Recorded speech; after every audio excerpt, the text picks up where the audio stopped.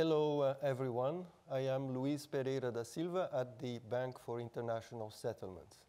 On behalf of the BIS, the European Central Bank, the People's Bank of China, and the Network for Greening the Financial System, the NGFS, it's my pleasure to welcome you to the second edition of Green Swan Conference. As usual, some housekeeping matters first. The conference is live streamed on the BIS YouTube channel, and the recordings of all sessions will be available on the BIS website a couple of days after the end of this conference. Last year's conference helped to increase awareness about climate change related risks that we labeled green swans. These risks are systemic and a clear danger. But somehow we still suffer from the tragedy of the horizon. On the one hand, there is radical uncertainty, calling for more time to get better information. On the other hand, mounting climate science based evidence calls for immediate action. The value of a wait and see option remains, unfortunately, too high. We need to flag that cost benefit analysis indicates that it's very risky to cross tipping points of irreversible accumulation of too much greenhouse gases. Why? We have asymmetric huge losses in the future compared to the costs to do something now. This paradox is not easy to manage. There are lots of issues for sure. The cost of mitigation and transition, burden sharing, and the conference will help us to discuss these issues. In last year's conference, one takeaway was that addressing climate risk requires coordination. No single agent alone in the economy, no unique policy instruments, even much needed carbon price by itself can address and solve global warming. Coordination means talking about rules agreed and monitored by agents in the economy.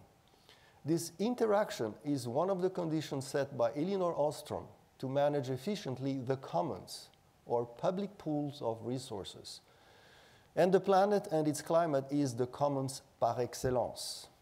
This year, we focus on one of the practical consequences of last year finance for the transition and the transition for finance. Obviously, finance is not a substitute for what needs to happen in the real economy regulations, relative price shift, behavioral changes, but the financial sector can play a key role in financing the transition to net zero, as discussed in last November's COP26 in Glasgow. Uh, think of it as a vehicle that can intermediate more resources from brown to green and fund technological innovation. In a way, finance can maximize the odds of an orderly transition that we are all working for as an instrument of a kind of a Schumpeterian creative destruction process. In addition, we know that we are running out of time. We need to avoid wasting our remaining carbon budget of about only 10 years. And we know, unfortunately, more difficulties have emerged, compounding the existing climate challenges. First with COVID, and now with the war in Ukraine. One, higher energy and commodity prices and more inflation. Two, the distributional consequences of that. And three, uncertainty about the length of the current supply shocks. These challenges combined can produce a sense of um, additional difficulties calling for more wait and see. Or, alternatively, they can also be the recognition of opportunities to continue our journey. As a consequence, with mounting risks and lack of time, this conference will focus on how finance will play its role together with other policies, including monetary policy. Carbon pricing, prudential rules, accounting standards, better disclosure and monitoring of exposures and risks, green global taxonomy, more green investments, R&D, green infrastructure, alternative technologies. In short, we want to and need to tangibly move the debate forward on two fronts. How can the financial sector, in practice, contribute to the government's commitment to net zero? And what transition or transformation does finance itself need in this process? Finally, after discussing all these issues, we will make the proceedings available as a public good like last year. So I stop here. Thank you.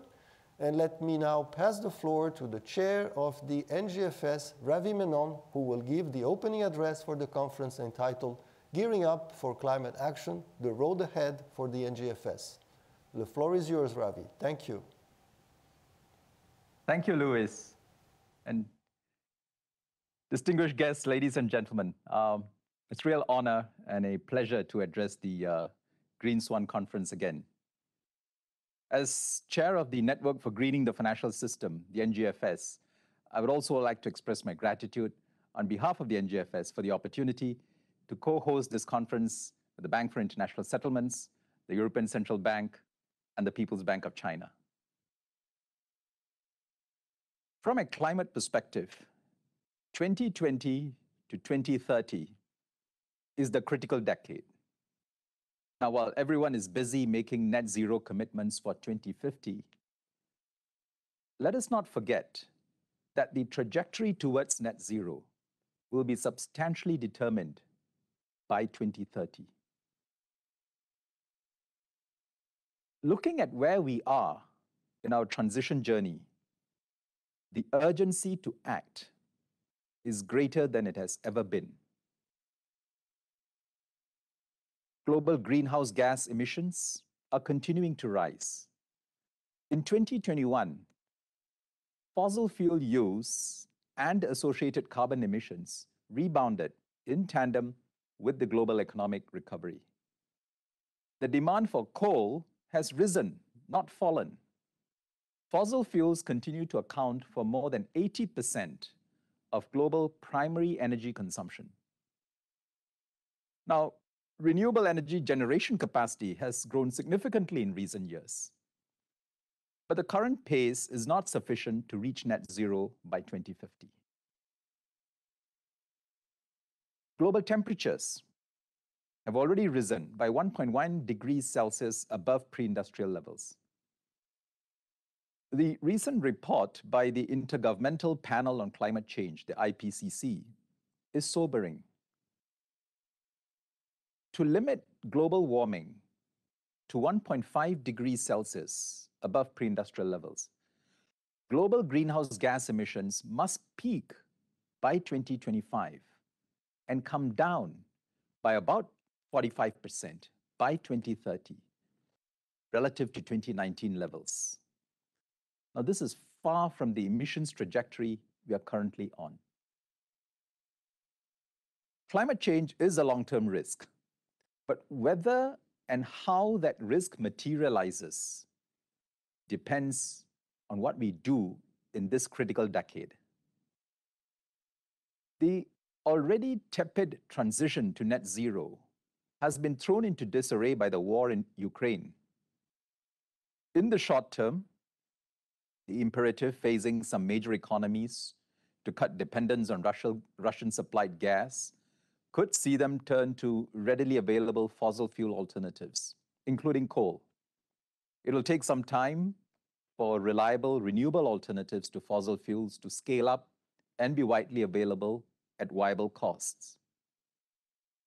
At the same time, governments' fiscal resources are being stretched by the need to provide support to cushion against macroeconomic stresses arising from the war, as well as to provide humanitarian relief. This means less fiscal space for public investments in green technologies and infrastructure. But there are also promising efforts to turn the tide. Many governments recognize that environmental sustainability and energy security are complementary goals. We have, in recent weeks, seen new policy proposals that may lead to a more decisive pivot towards renewable energy. For example, the European Commission's REPowerEU proposal includes targets to further boost renewables development and quadruple green hydrogen supplies by 2030. The German government has announced a package of measures which aims to increase the share of renewable energy in Germany's energy mix to 80% by 2030, up from an earlier target of 65%. concerted action by policymakers, corporates, financial institutions, and individuals will be key in the drive to mitigate climate change. It is in the name of facilitating such concerted action that we are gathered here today at the Green Swan Conference. The financial system can be a powerful lever to enable a credible and inclusive transition to net zero. Central banks and financial regulators, whatever their mandates, have a role to play in greening the financial system to support the net zero transition. It is this vision that led to the formation in 2017 of the Network of Central Banks and Regulators for Greening the Financial System, or NGFS. The NGFS has grown significantly from eight founding members to 114 today, representing a diverse group of advanced, emerging, and developing economies. The network has accomplished much in the last four years, breaking new ground and providing valuable guidance on integrating climate and environmental risks into the work of supervisors and central banks. The integration of climate-related and environmental risks into financial stability monitoring and prudential supervision is becoming a reality. The next phase of the work of the NGFS is to move from awareness to action. The NGFS Glasgow Declaration, issued at COP26 in November last year, reiterated our commitment to expand and strengthen our collective efforts towards greening the financial system. This means two things. First, improving the resilience of the financial system to climate-related and environmental risks. Second, encouraging the scaling up of the financing flows needed to support the transition towards a sustainable economy. To give substance to its Glasgow Declaration, the NGFS has just announced its new work program. It comprises six key initiatives. One, enhancing supervisory practices with respect to managing climate risks. Two, designing actionable climate scenarios. Three, assessing the implications of climate change for monetary policy. Four, providing guidance for central banks on their own net zero transition. Five, analyzing nature-related financial risks. And six, building capacity among its membership. Let me start with supervision. The NGFS will take to the next stage its ongoing work to incorporate environmental risks within supervisory frameworks and practices. One of the new areas of focus will be financial institutions' transition plans to manage environmental risks. To be credible and impactful, financial institutions' transition plans must be based on how they will facilitate the transition of their clients and customers towards greater sustainability. This will in turn depend on their respective industry transition pathways relevant to their clients and customers. The NGFS will examine the role of supervisors in assessing financial institutions' transition plans. We will study potential ways to assess transition plans' resilience to environmental risks. We will identify good practices among supervisors on overseeing financial institutions' transition plans, along with the necessary data requirements.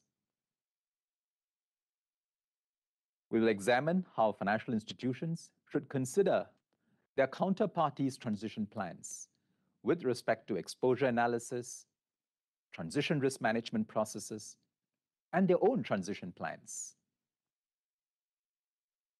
The NGFS will not do this work in isolation. There is some existing work in this space by others, such as the Glasgow Financial Alliance for Net Zero, or GFANZ, and the Science Based Targets Initiative, or SBTI. It is important that we have a consistent and comparable approach to assessing financial institutions' transition plans. Next, climate scenarios.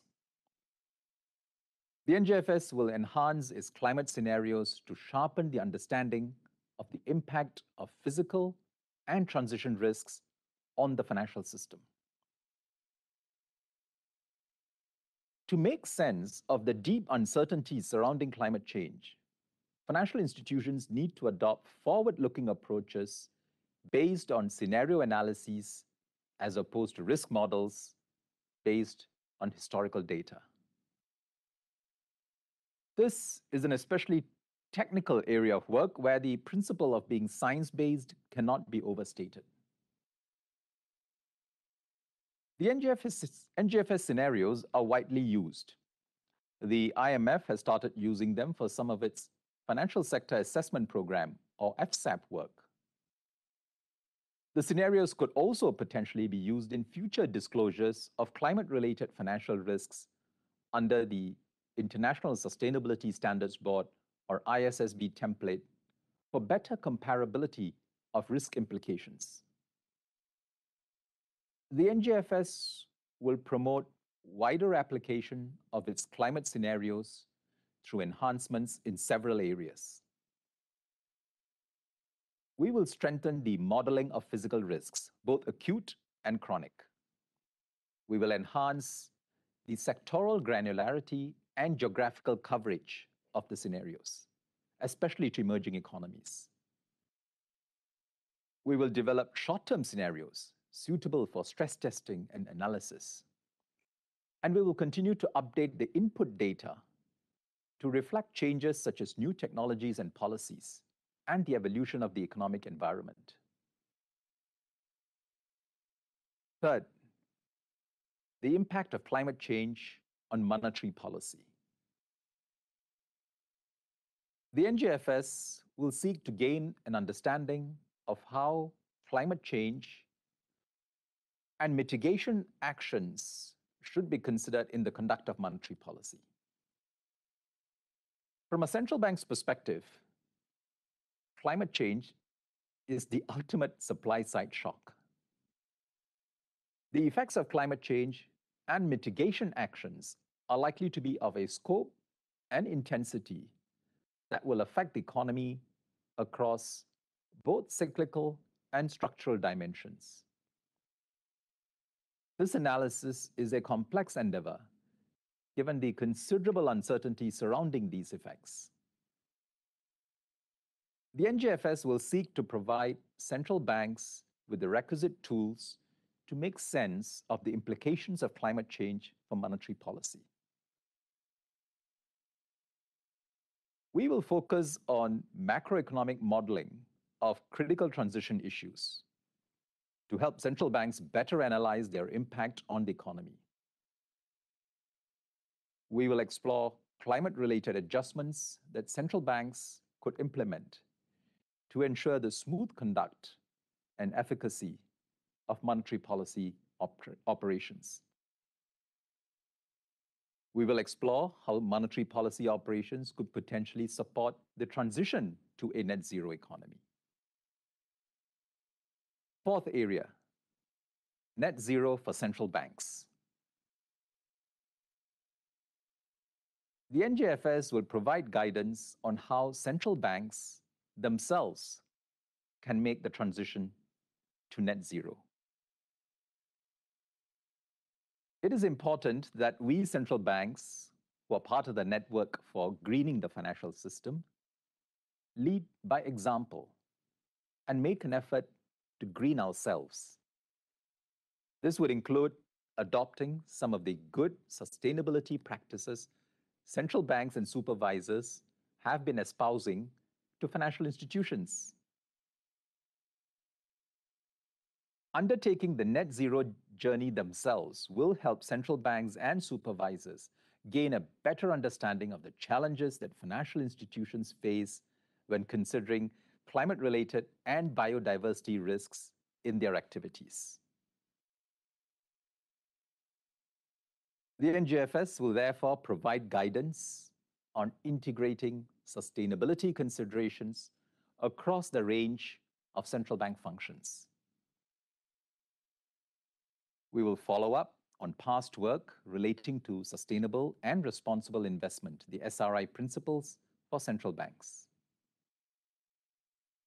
We will explore suitable metrics for central banks' disclosure of climate-related and environmental risks, including climate-related governance structures and strategies.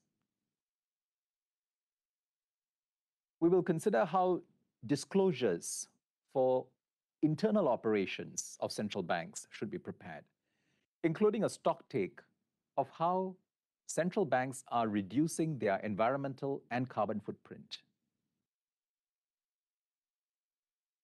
Let me now move on to nature-related risks.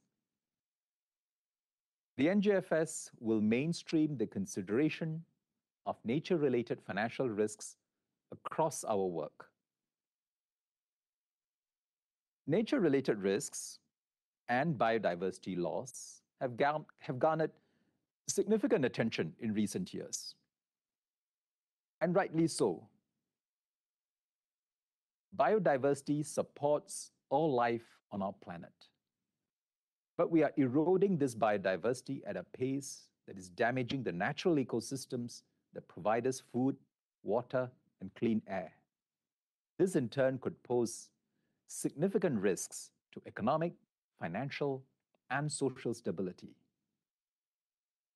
Failure to address nature-related risks could adversely affect financial institutions and financial system stability. It is imperative that central banks and supervisors consider these risks in fulfilling their mandates. The financial sector should align itself with the transformations that are necessary to deliver a global economy that is positive for nature. The NGFS has acted quickly in looking into nature-related risks well ahead of the financial industry. We collaborated with Inspire, an independent research network, to produce reports setting out the importance of biodiversity for the macroeconomic and financial systems. These reports also made preliminary recommendations on how central banks and supervisors might align themselves with the structural transformations required to deliver a nature-positive global economy. The NGFS, in the next phase of its work, will aim to equip central banks and supervisors with a common base of knowledge of nature-related risks. We will provide recommendations on how nature-related risks can be integrated into the other work programs of the NGFS, including supervision, scenario analysis, and monetary policy. We will make nature-related risks more tractable by focusing on nature-related risks with a nexus to financial risks. We will identify a few local case studies to work through concrete examples where the link from ecosystem degradation to climate change is clear, such as in deforestation. Finally, capacity building and training. The NGFS will provide guidance on how central banks and supervisors can build up their capabilities in climate-related and environmental risks. The importance of building capacity and expertise on climate issues within the central banking and regulatory community has been consistently espoused by the NGFS since its beginning.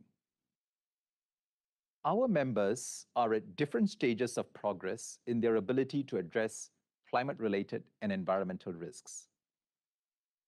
We want to make sure they have the support, all of them, the support they need to make meaningful progress in addressing these risks.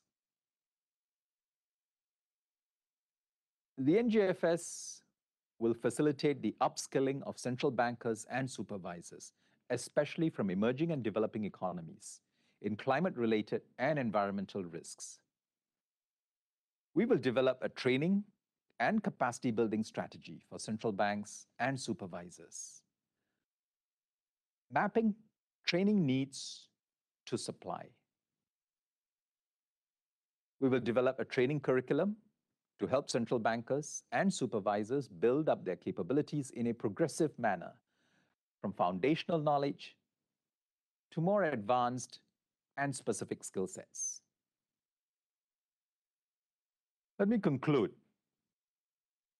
As a final remark, let me stress climate change is a shared crisis, and the efforts to fight it must be a shared responsibility.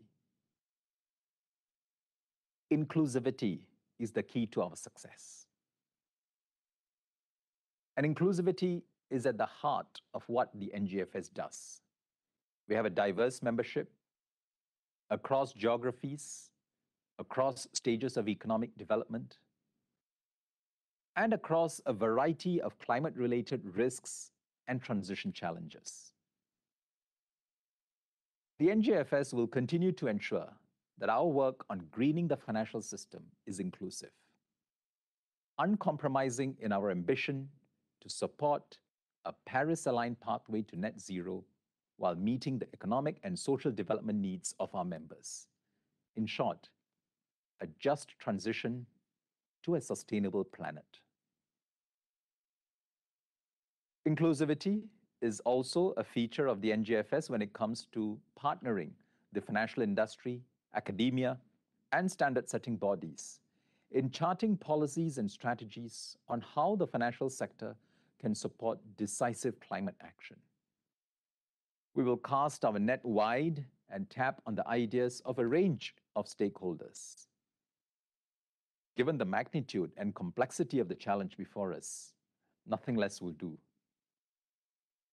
At the Green Swan Conference, we have a diverse and inclusive assembly comprising some of the best minds and influential figures. I'm confident that the conversations we will have over these two days will add impetus to what we can do together in the fight against climate change during this critical decade. With that, I thank you, and I wish you all a fruitful conference. Thank you. Um, thank you very, very much, uh, Ravi, for providing us with uh, this uh, comprehensive agenda of uh, such uh, important uh, topics for, for all of us. There will now be a break. The, the conference will resume at 10.30 a.m. Central European summertime with a half-day session that focuses on the role of finance in the climate transition. It will begin with a keynote uh, speech by Su Xiaoshuang. Do come back to join us. Thank you very much.